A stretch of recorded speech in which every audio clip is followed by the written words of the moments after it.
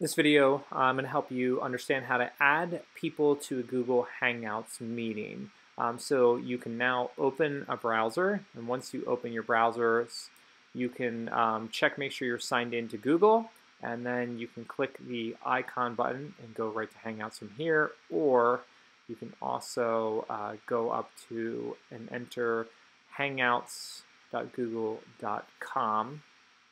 You're going to enter that address hit enter, and then from here you're in. Again, make sure you're signed in, um, and then you can go right to starting your video call. So you click the camera icon, and make sure you allow your camera and your microphone. Once you do that, your meeting is started. So just remember, don't start this meeting until you're ready to have your meeting. There I am. At this point, you can invite people by entering their emails right here. So I can enter um, a few people.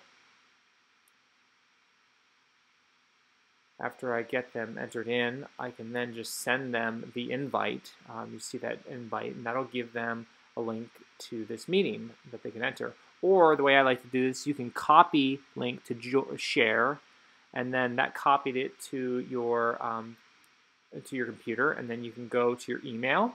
Uh, again, add people into your email. So I'm going to add myself. I'm also add uh, the, the church. And once I do this, I can give it a good subject that's appropriate as well. So our subject line can be uh, Connect Group Video Conference. Now, now I can uh, right click on my mouse or you could hit Command V or Control V on your keyboard to uh, paste the link into the email. Then you need to highlight it, um, and most likely you need to go down to this icon to insert the link. And looks like a little bit like a little paper clip.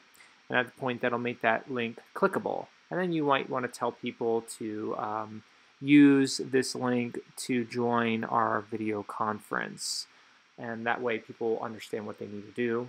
And once that's all set, you can hit the send button for this email and people will be able to enter your meeting. I'd recommend doing this about five minutes or 10 minutes before your meeting starts.